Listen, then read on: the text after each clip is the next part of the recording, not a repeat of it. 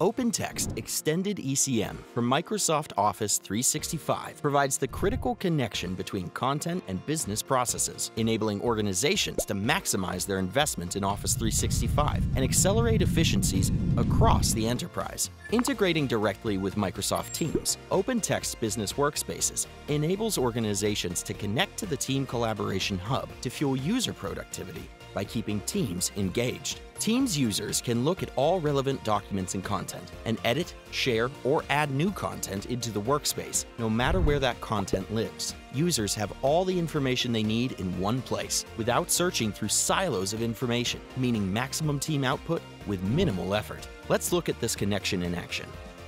Connecting an extended ECM workspace with a new or existing Microsoft team.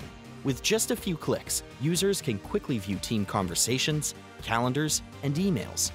Opening the connected Microsoft team from extended ECM is just as easy, enabling better productivity. And with access to the extended ECM workspace, team members can interact with content from a tab in Microsoft Team and keep all their work in one place. Plus, the extended ECM workspace lets team members directly upload files from Microsoft Teams, their OneDrive for Business, or their recently accessed Office 365 files. With extended ECM for Microsoft Office 365 and its new integration with Microsoft Teams, users get a better way to work, staying in the familiar applications they prefer, while seeing all relevant information and enabling closer collaboration. Visit the link below to learn more about maximizing your team's output with OpenText Extended ECM for Microsoft Office 365 and its new Teams integration.